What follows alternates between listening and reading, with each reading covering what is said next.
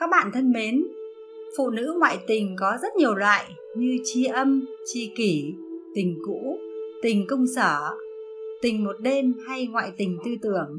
Đàn ông đôi khi không hiểu vì sao phụ nữ lại đi ngoại tình. Trước khi đi vào tìm hiểu sâu về những tâm lý và suy nghĩ của những người phụ nữ đang lén lút ngoại tình sau lưng chồng, bạn đã từng hỏi vì sao lại khiến phụ nữ dễ dàng ngoại tình không? Không chỉ vì lý do về thể xác, phụ nữ ngoại tình là bởi cái ham muốn tự do.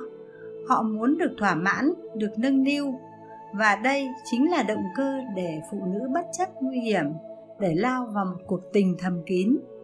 Sống trong một môi trường quá nhàm chán khiến người vợ muốn phiêu lưu với chính hôn nhân của mình. Ban đầu chỉ là muốn thử cảm giác lạ, đổi món. Vậy nhưng một khi đã được thỏa mãn rồi thì rất khó thoát ra.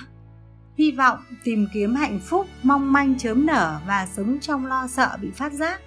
Phụ nữ ngoại tình thường có khát khao tự do và được yêu. Từ một người phụ nữ tủi phận, cơm nguội, nhưng bỗng nhiên trở thành một bát phở thơm phức, nhận được nhiều sự quan tâm, ngưỡng mộ, thậm chí là sẵn sàng quỳ dưới chân nàng để cầu xin tình yêu và liên tục bắt đầu những cuộc hẹn hò. Mặc dù đã bước sang tuổi 40-50, nhưng nhiều chị em bỗng nhiên hồi xuân như một phép màu. Vui vẻ và tràn đầy sức sống hơn, khiến bề ngoài của họ mỗi ngày một thay đổi. Họ chăm chút cho bản thân nhiều hơn và không tiếc tiền đầu tư để trở nên xinh đẹp. Thu hút trong mắt những đấng mày râu xung quanh. Họ tìm đến nhân tình vì cảm giác được tỏa sáng và được ngưỡng mộ ở nhiều cấp độ. Tìm hiểu về tâm lý phụ nữ ngoại tình cũng là cách dễ hiểu hơn về những suy nghĩ, dằn vặt và nỗi khổ tâm của chị em. Đôi khi chúng ta có thể mở lòng mình hơn trước việc làm sai trái mà họ đang mắc phải. Thứ nhất, cảm thấy thích thú đam mê. Mặc dù hôn nhân hầu hết được gây dựng bởi tình yêu, nhưng cuộc sống hôn nhân đôi khi chứa đựng những khoảnh khắc khiến cho tình yêu của cả hai dần dần phai nhạt.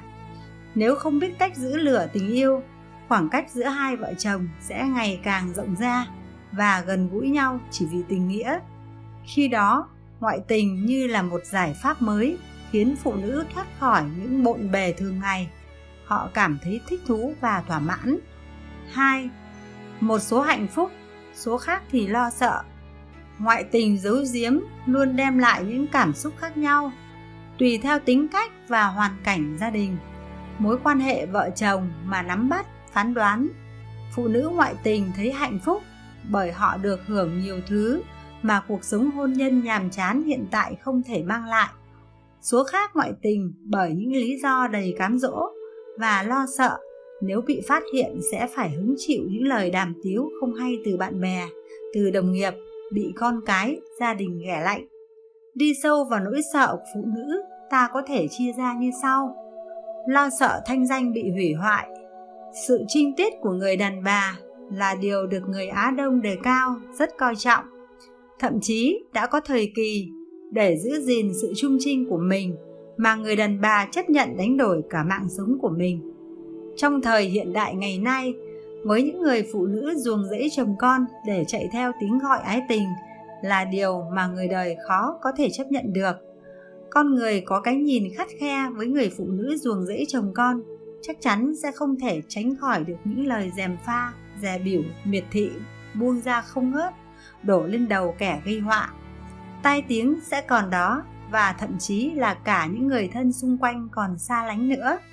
Cho dù họ có quyền cao chức trọng, thành công như thế nào thì thanh danh cũng sẽ bị hủy hoại đi. Thứ hai là lo sợ gia đình tan nát. Đừng nghĩ rằng ngoại tình chỉ là chuyện riêng của người không yêu thương chồng con. Nhưng thực tế đã chứng minh rằng có không ít người phụ nữ dù tận tụy hết lòng cho chồng con nhưng vẫn ngoại tình. Nguyên nhân xuất phát từ phía người chồng yếu mà chị em thì lại hoàn toàn khỏe mạnh. Nhu cầu về đời sống chăn gối không được thỏa mãn nên họ đi cặp bồ để được giải tỏa. Cho dù nguyên nhân có xuất phát từ sự kém cỏi trong năng lực đi nữa thì cũng chẳng có người đàn ông nào có thể chấp nhận bị vợ cắm sừng. Dù muốn dù không, một khi bị phát hiện ngoại tình thì kết cục là gia đình sẽ tan nát, đơn ly hôn được viết sẵn đợi ký. Và hơn hết, bản thân người phụ nữ ngoại tình là người lường trước được hậu quả của việc mình đang làm.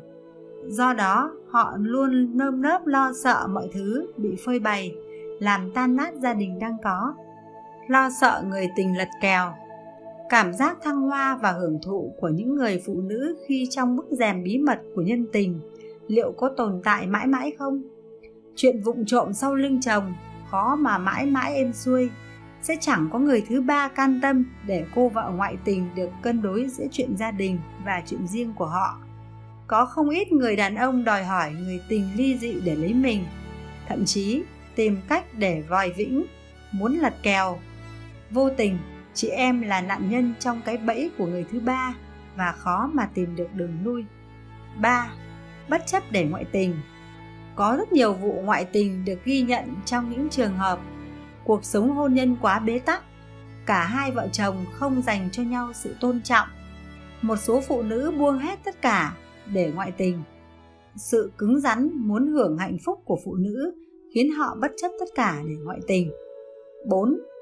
Cảm thấy được là chính mình Nhiều phụ nữ sau khi kết hôn phải từ bỏ những đam mê, sở thích của mình để phục vụ cho gia đình.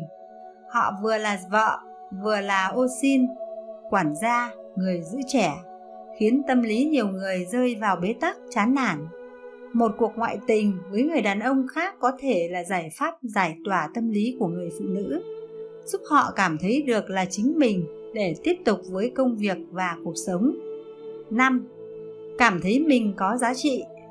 Thông thường, những người chồng gánh vác về khía cạnh tài chính, kinh tế, giúp đỡ và xây dựng sự ổn định trong căn nhà. Nên vì vậy, rất nhiều người đàn ông cậy thế của cải do mình làm ra mà vô hình chung đã xem nhẹ tầm quan trọng của người phụ nữ, khiến họ cảm thấy bị tổn thương, coi thường. Gánh chịu những đau đớn như vậy, nếu có một người đàn ông khác theo đuổi, phụ nữ sẽ bám lấy họ như là một cách để tự chứng minh rằng mình chưa hết thời, vẫn còn được người khác yêu thích, ái mộ. 6.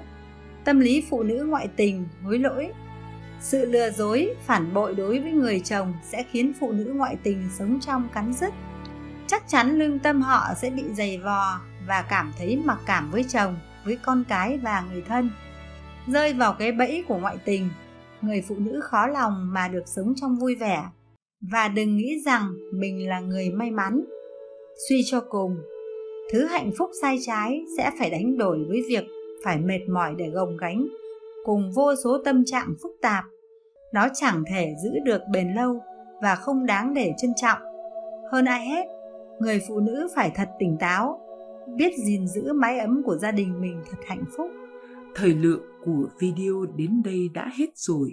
Quý vị cùng bớt chút thời gian đọc và nhấn nút yêu thích để đăng ký kênh ủng hộ và cũng là động lực cho đội ngũ biên tập có thêm nhiều video hay và bổ ích hơn nữa.